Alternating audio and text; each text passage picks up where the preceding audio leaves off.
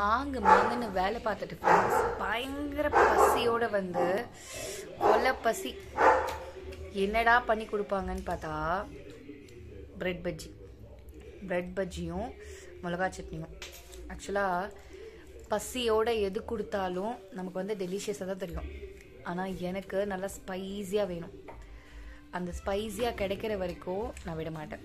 இன்னொன்று எனக்கு ஒரு கெட்ட பழக்கம் இருக்குது பயங்கர ஸ்ட்ரெஸ்ஸாக இருந்தாலோ பயங்கர கோவமாக இருந்தாலோ நான் நிறைய சாப்பிடுவேன்.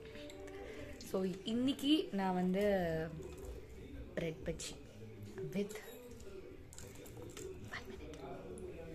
chutney. And எனக்கு கம்பெனி கொடுக்குறக்கு என் டாட்டர்ஸ்